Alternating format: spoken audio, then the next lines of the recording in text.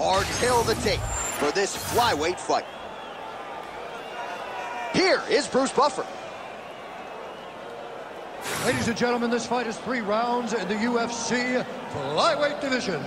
Introducing first, fighting out of the blue corner, Steve Astro Boy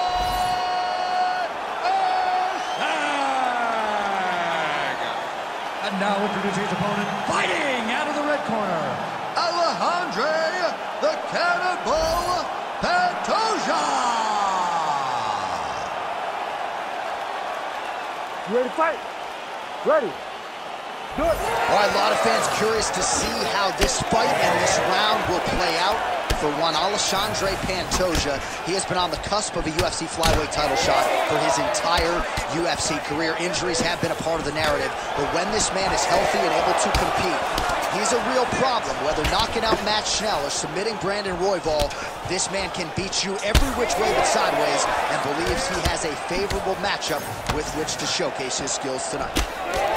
Trading shots. Let's see. Oh! Lands a big right hand early. Oh, man, these fighters are trading strikes early on. It's exactly what we expected from these two. All right, so look at that. A cut has been opened around that eye area. He's taking shots over and over again to that area, and now he's dealing with a cut. And right into side control.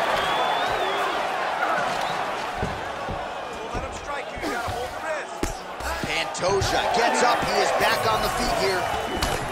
Big head kick land. Fast pace here in the early going.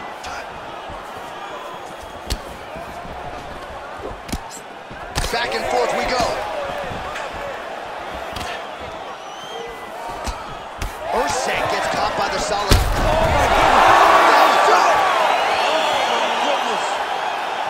Well, that face is only going to be surpassed by the zeros on the check. A huge knockout tonight. Got to think some bonus money's coming his way. Bonus money is coming his way. When you knock somebody stiff like this, you expect a bonus check. What a phenomenal performance by this young man.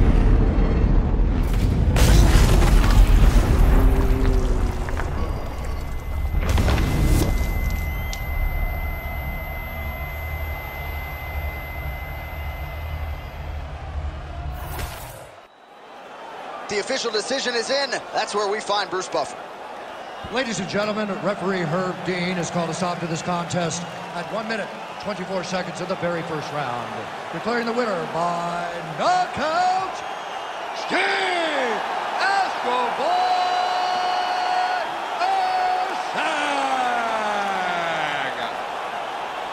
All right, so there he is, the man of the moment, celebrating one of the bigger knockout victories of his career. And got